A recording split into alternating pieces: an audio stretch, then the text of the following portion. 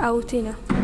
Bueno, la idea surgió de la Intendencia de Canelones que presentaron un proyecto, La historia escrita con A, que quiere ver la evolución de la mujer en los distintos ámbitos que fue eh, consiguiendo.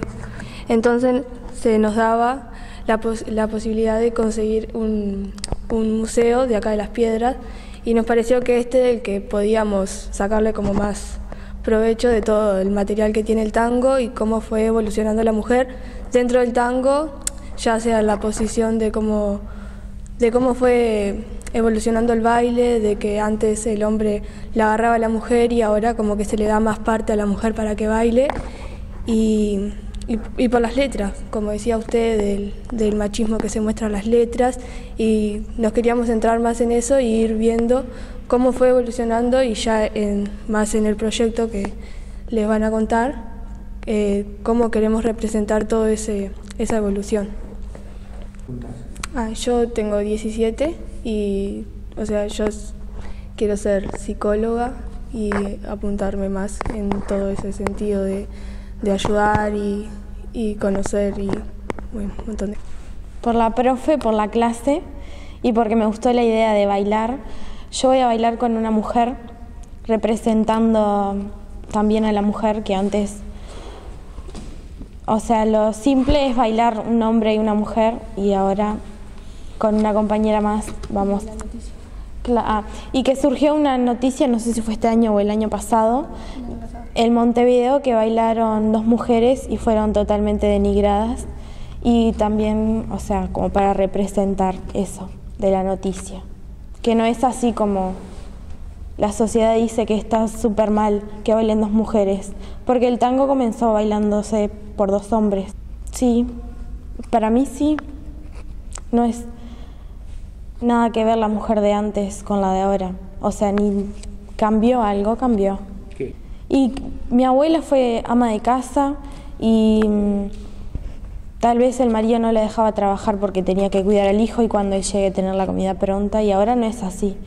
Mi madre, si tiene que trabajar, trabaja, hace cosas que capaz que muchos años atrás no las haría. Prevencionista, técnica prevencionista. ¿Eso en qué consiste? Es eh, cuidar la salud y las obras de trabajo, cualquier obra de trabajo, ya sea construcción, metalúrgica. ¿Qué haces? Belén. ¿Y qué me gustaría hacer? Eh, me gustaría ser abogada en el futuro. ¿Y este proyecto por qué te enganchó? También por lo del rol de la mujer, porque considero que todo va como bien encaminado y que tenemos que seguir luchando porque se nos reconozcan nuestros derechos. Y bueno, eso, lo de la evolución de la mujer, mismo lo que es el tango o en las profesiones mismo. No, en la calle, por ejemplo, cuando se nos menosprecia, se nos abusa, por decir así que una se siente inferior, desprotegida, como, no sé, con la evolución poder tomar el poder y cambiar estos hechos. ¿Has visto cerca tuyo violencia de género? Mm, no, no. En mi familia no, pero sí he escuchado. ¿Piropo? ¿Te molesta? Sí, obvio. No lo considero piropo. ¿Qué es? Es un abuso. No, no es consentido. ¿Cómo te llamas eh, en tu edad? Ah, eh, soy Facundo, tengo 17 años y en el futuro quiero ser eh, traductor público.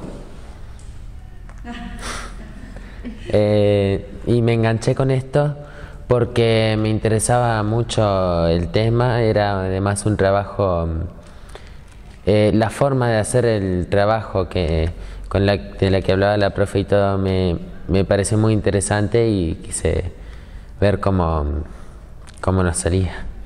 ¿El proyecto consiste en qué específicamente? Es en hacer eh, un trabajo, una representación sobre el rol de la mujer en la sociedad de ahora comparado con la de antes.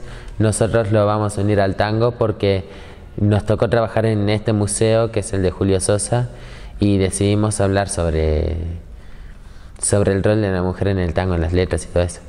¿Conocías este museo? ¿Sabías algo de Julio Sosa? Yo había, yo había venido una vez, pero, o sea, lo conocía, sí. Bueno, obvio. Tengo una pregunta provocativa. Está difícil esa. Eh, sí, esa es una preocupación justamente que yo he tenido desde que decidí hacer esta carrera, eh, justamente porque, si bien antes un, un traductor, por ejemplo, el de Google era espantoso como te traducía y todo, y vos veías, ahora como que hay un avance más,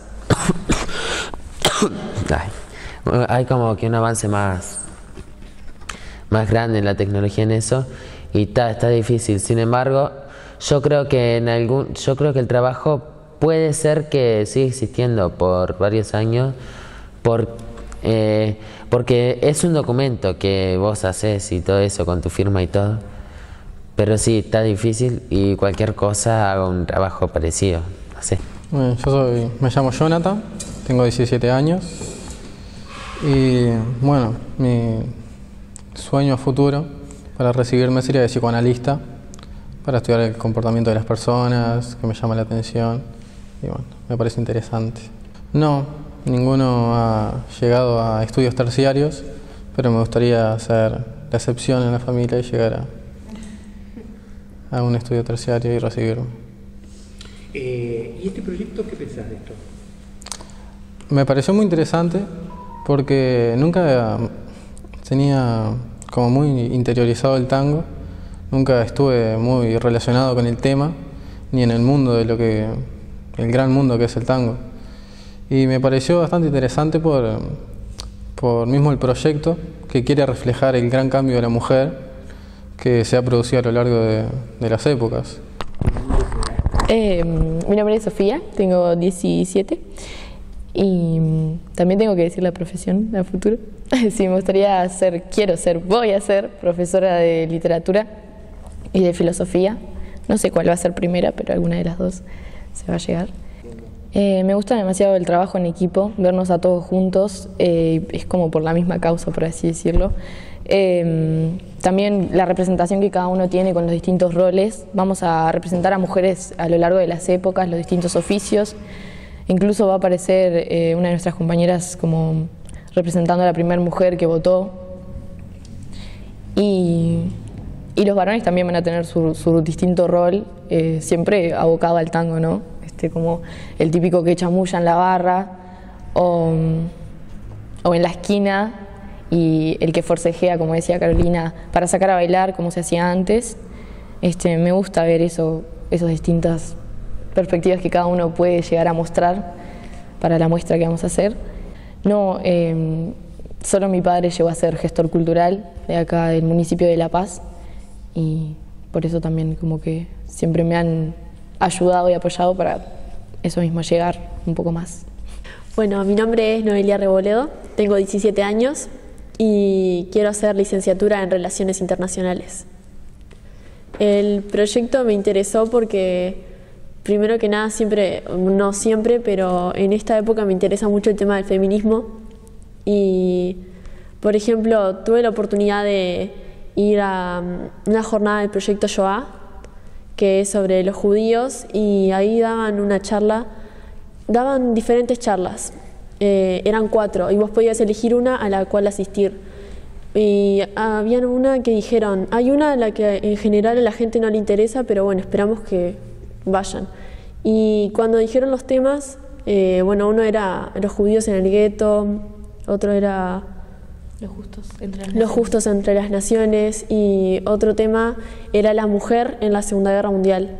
Y a mí, sinceramente, me interesó muchísimo porque también lo hablamos la otra vez en un taller que vinimos acá, que la mujer ha sido excluida en la historia y entonces me interesaba ver el papel que, más allá de que nosotros teníamos la imagen cuando llegamos a esa charla de que la mujer tenía que cuidar a los hijos y ya está, en la casa.